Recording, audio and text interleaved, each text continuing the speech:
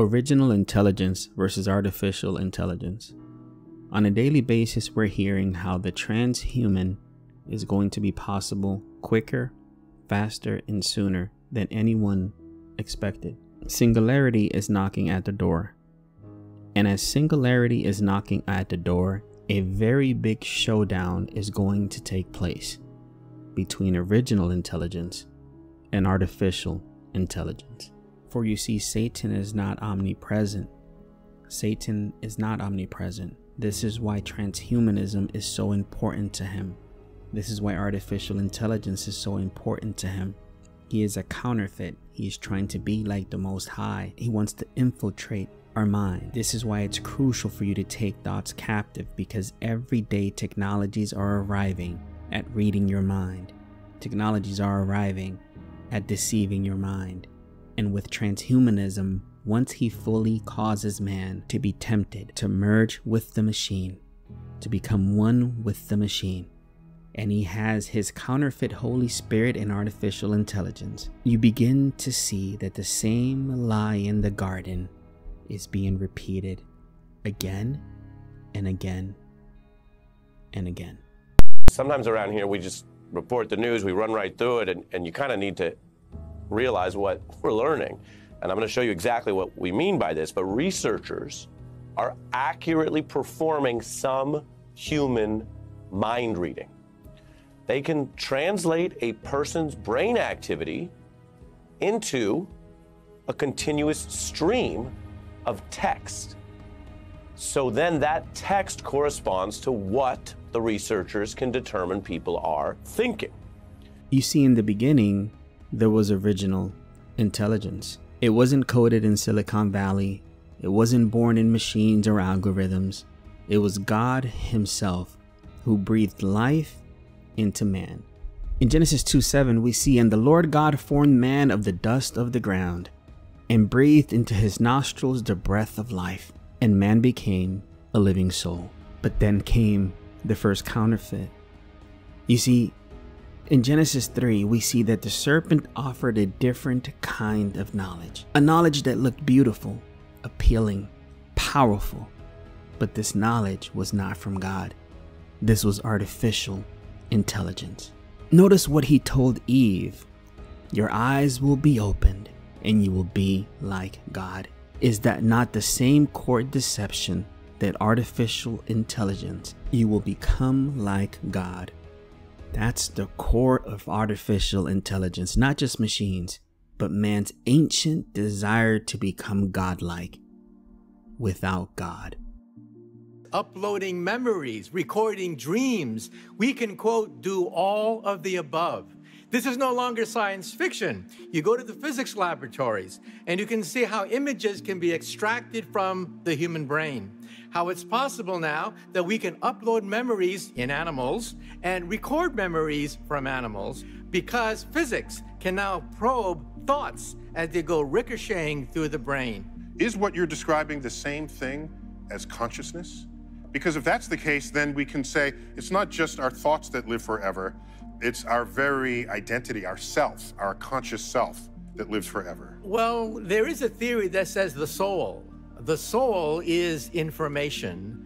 It's a vast amount of information, but nonetheless, it's information that can be put into holographic form such that even if you pass away, something there is, is survives. But theoretically, that is effectively immortality. Once you reach that point, that is you living forever. If you just integrate over our entire life, it's remembering the good times. Sure. What are we but our memories?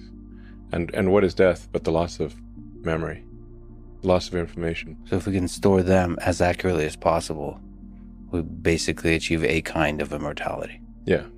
Could you, you know? imagine that one day we would be able to download our human brain capacity into a Optimus? i think it is possible, I think, to do that. It is possible. Which would be a, a different way of eternal life, because we would also download our personalities into a body. It's how the enemy tempts societies. Uh, whether you look at Genesis 6, when the Nephilim, the offspring of the fallen, corrupted mankind with forbidden knowledge, judgment followed. Uh, or wh- whether you look at the Israelites who built up a golden calf, a god they could see, touch, and control. At Babel, the Tower of Babel, what did humanity say? Let us build us a tower to the heavens and make a name for ourselves. Artificial intelligence as we know it in 2025 is nothing new under the sun. You see, back then in the Tower of Babel, and in those cultures and civilizations, they weren't just building towers. They weren't just building golden calf. They were building replacements for God. And you can look throughout different civilizations and cultures from Egypt to Mesopotamia to the Greek to the Aztec temples. Mankind is continuously rebelling against God and worshiping the created thing instead of the creator. And why does it continue to happen? Why does the deception of artificial intelligence continue to deceive the nations?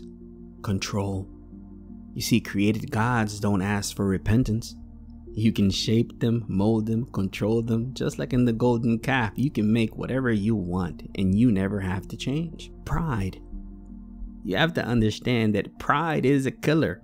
It feeds the lie that we are creators, that we are it, we're the last Coca Cola in the desert. It's all about pride. It's all about me. It's all about you. We start worshiping the created thing instead of the creator. Fear. Trusting an invisible, holy God requires faith. Trusting a statue or a system to many people feels easier. But at the end of the day, God did not give us a spirit of fear.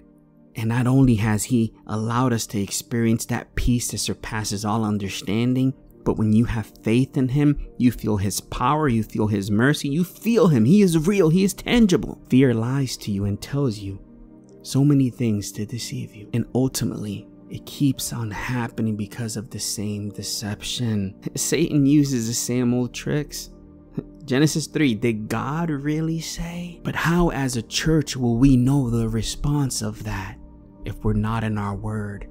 If we're not fasting, if we're not praying, if we're not living for Jesus. Look at the track record in the garden.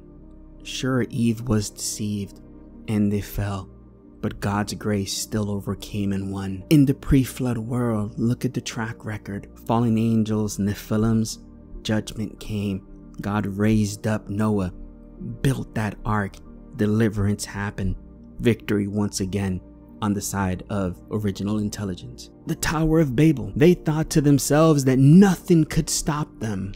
The track record is proven continuously, continuously, continuously. In Revelation 18 4, it tells you, Come out of her, my people. What happened in the garden, what happened in the pre flood world, what happened with the golden calf, what happened with the Tower of Babel, what happened when Jesus Christ said it is finished is that God is undefeated. And original intelligence, once again, oh, when this showdown begins to happen, you're going to see something spectacular, beautiful, and awesome. And that's the power of God on full display. God is good. And whether you look at the Nazca lines in Peru, where you can clearly see fallen angel activity coming in the form of these ancient beings tempting humanity, or you fast forward through history to 2025, the tools change, the mechanisms change, the temptation remains. Mankind has built machines, then they built computers, and now it's artificial intelligence. Man has gotten to the point that they've made something that can mimic our voice, our thoughts, our creativity, and once again, as in prior civilizations, we're tempted to worship it. Do you not notice that people today trust AI more than they trust each other? Do you not notice that most people trust AI more than they trust the Bible? Do you not notice that people back in the day at the very least used to have more of an attention span? No longer do we go to the comforter. The scriptures clearly tells us that the Holy Spirit will teach us and guide us into all truth. If we trusted the Holy Spirit as we trust a Google search, what would we be like as a church? We would be on fire for God.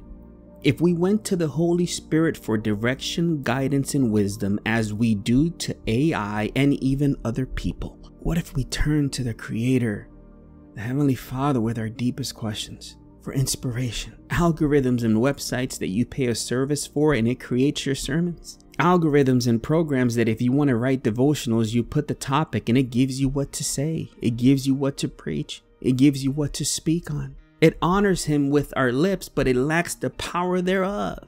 A showdown is coming between original intelligence and artificial intelligence, and the track record is proven that Jesus has already won. And in this upcoming battle that will arrive when you least expect it, what side will you be on? Will you be on the side of their created thing, or will you be on the side of their creator? By all means, AI operates with fear. If you notice the message from people in the media, it's constantly that we're going to have to merge with the machine and they promote transhumanism. They operate with fear. They operate with fear. They tell you that AI is going to replace the economy. They tell you that AI is going to replace our jobs. Listen, let me explain something to you. The showdown that is coming, you're going to have to put that spirit of fear aside. Hear me out for a moment. Artificial intelligence, it may be powerful. Singularity and transhumanism, what they're going to tell you about, is going to be very, very tempting. But a newsflash for you it's still artificial. It cannot love you. It cannot redeem you. It cannot forgive you. It cannot save you. It cannot give you grace. It cannot give you true biblical wisdom. It doesn't have your best interest at heart. But original intelligence, the wisdom of God, Proverbs 9:10 says it all. The fear of the Lord is the beginning of wisdom. Heavenly Father, we want to thank you for this opportunity for us to come together as brothers and sisters in the Lord so that we can take a stand today, even in our own homes, ministries, families, communities, to practice 2 Corinthians 10:5 casting down arguments, coming together to cast down imaginations.